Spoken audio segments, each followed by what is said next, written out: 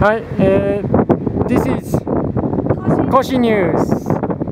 And this is my favorite place in Jasper area, which is Mount Edith Cavell. Uh, this is an Angel Glacier, which is such a beautiful place. This is Mount Edith Cavell. This is the Edith Cavell uh, Glacier uh, Lake. And this is a valley, Mount Edith Cavell Valley such a beautiful place here.